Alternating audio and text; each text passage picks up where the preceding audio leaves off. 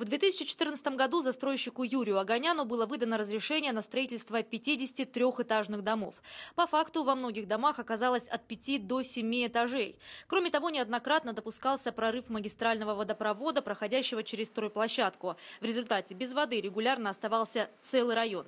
Суд обязал Огоняна выполнить противооползневые работы. Предписание застройщик проигнорировал. Все это и стало причиной отзыва разрешения на строительство. К тому же деньги с дольщиков Огонян собирал по предварительному договору долевого участия, учитывая имеющийся запрет на привлечение средств граждан. А это очередное нарушение законодательства. Кредиторам администрация рекомендует писать заявление в полицию о мошенничестве. Само же руководство курорта ищет пути выхода из банкротства жилого комплекса «Курортный».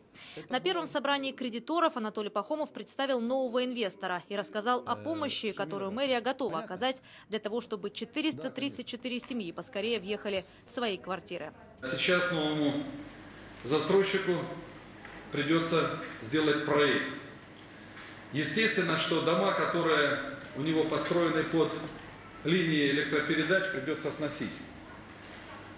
Мы, администрация города, гарантируем Нунаеву, что мы поможем в плане того, что будет э, утвержден новый проект по сути дела, который пройдет экспертизу. Естественно, при выполнении всех норм и правил, в том числе э, правил застройки города Сочи. Новый застройщик, который считается на курорте одним из самых надежных, озвучил обманутым дольщикам свои планы по достройке проблемного объекта. План такой, если мы договоримся в те дома, которые, чтобы вы в первую очередь э, получили э, свои площади, те, кто в 35-м, там, 40-м доме, в этих тех, которые уже построены, в первую очередь будем доводить их э, до конца. Ту квадратуру, которую вы приобрели, э, на нее же согласились в тех домах, которые уже построены. Обязательства предыдущего застройщика Нунаев выполнит, но для этого ему необходим новый проект. Безучастными не останутся и сами обманутые дольщики. Объект необходимо обеспечить инфраструктурой, поэтому на встрече с кредиторами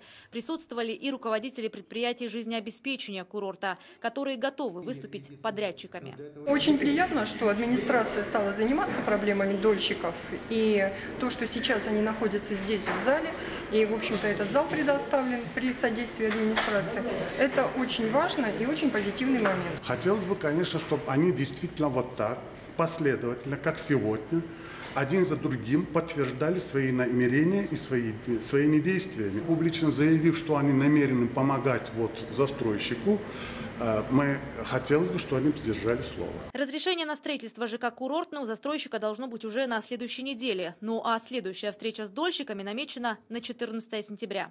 В этот день планируется утвердить новую дорожную карту. Ольга Десятова, Инга Габешия, Владимир Киселев, телекомпания ФКТ.